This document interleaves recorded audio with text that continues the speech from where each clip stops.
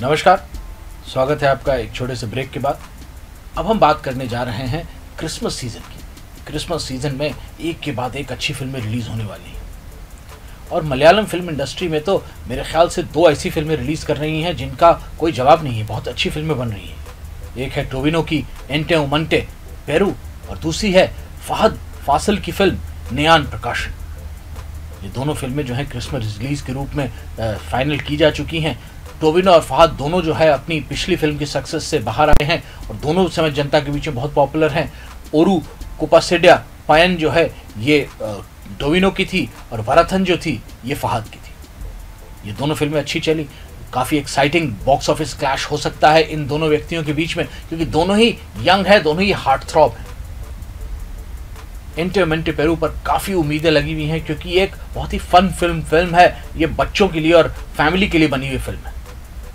होसे सेबेस्टियन ने इसे डायरेक्ट किया है। फ़िल्म में टोबिनो के साथ वेटरन एक्ट्रेस उर्वशी हैं। और जैसा कि टाइटल आपको जो है समझ में आ रहा होगा, अगर नहीं समझ आ रहा है तो मैं समझाता हूँ कि ये माँ बेटे की जो है रिलेशनशिप के ऊपर कहानी है। और माँ बेटे के रिलेशनशिप के ऊपर बड़ी अच्छी फनी कहानी है। न्यू कमर हैं साईप्रिया, जो कि इस फ़िल्म में फीमेल लीड का रोल कर रही है।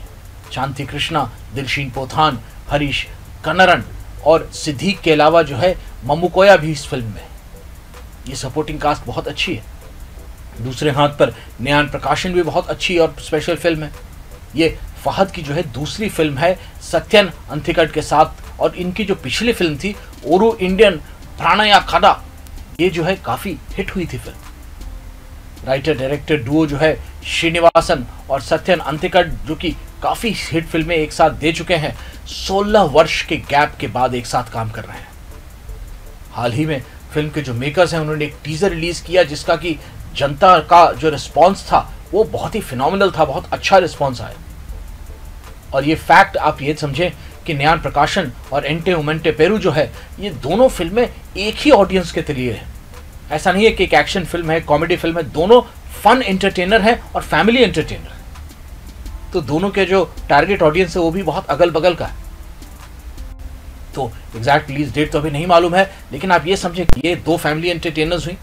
इसके अलावा एक हो गई आपकी यश की फ़िल्म आ रही है केजीएफ जो मलयालम में रिलीज़ कर रही है। काफ़ी बड़ी फ़िल्म है अपने आप में, लेकिन वो एक्शन एरिया की है। तो जो व्यक्ति फैमिली एंटरटेनर्स नहीं देखते हैं, उनके लिए ऑप्शन है यश की फ़िल्म के जाके देखने का। उसके अलावा शाहरुख की फ़िल्म रिलीज़ कर रही है ज़ीरो ज़ीरो से भी काफ़ी आशाएँ लगाई जा रही हैं क्योंकि काफ़ी अलग किस्म का इसमें रोल कर रहे हैं शाहरुख।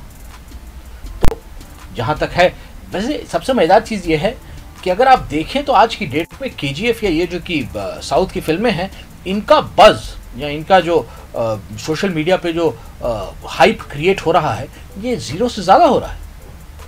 और ये एक बहुत अच्छी चीज़ है हिंदुस्तान के लिए कि अब नॉर्थ इंडिया की ऑडियंस भी जो है इंतज़ार कर रही है कि ये फ़िल्में क्या आएँगी, कब आएँगी। ओडियन के बारे में मैं आपको बताऊँ कि पूरे नॉर्थ इंडिया में हंगामा हो रहा है कि ये फ़िल्म हिंदी में रिलीज़ हो रही है कि नहीं। मैं आज इस बारे में पता करके आपको इन्फॉर्म करूँगा, ज़रूर करूँगा, ये मेरा वादा है। एक सेगमेंट में मैं जो है इस बारे में आकर के अवश्य बात करूँगा आपसे।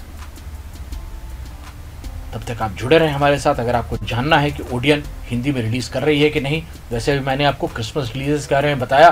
ब्रेक के बाद मैं पुनः लौटता हूँ और मैं आपको कुछ और नई खबरें देता हूँ। मैं हूँ अनुपम। आप देख रहे हैं टुडेज और चैनल मत चेंज कीजिएगा, अन्यथा ये सारी जो बड़ी इंटरेस्टिंग जानकारियाँ हैं, ये आपके हाथ से निकल जाएँगी। 바꿔